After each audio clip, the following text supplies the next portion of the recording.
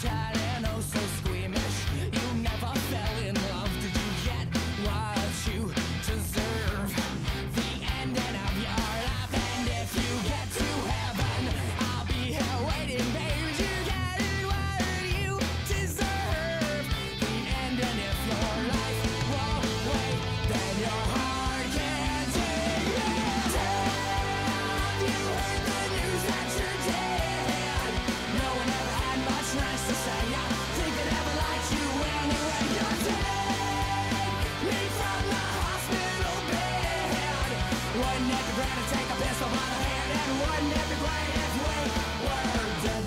in my honest observation.